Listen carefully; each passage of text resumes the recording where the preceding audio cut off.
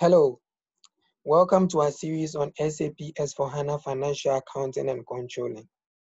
In our previous video, we looked at year-end closing in asset accounting. In that scenario, we closed the 2019 fiscal year. For instance, you realize that there were other postings that needed to be posted in 2019, and you will need to open the 2019 year to do those postings. So we are going to specifically look at look at how we can undo the year closing we did.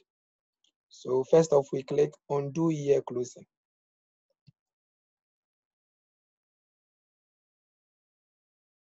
So in the change view, we have the various um, company codes and the years that have been closed. Now in the in our scenario, we use 1710.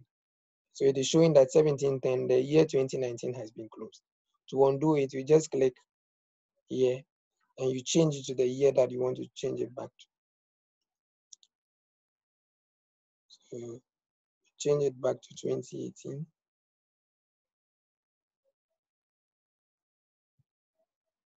Then you click save.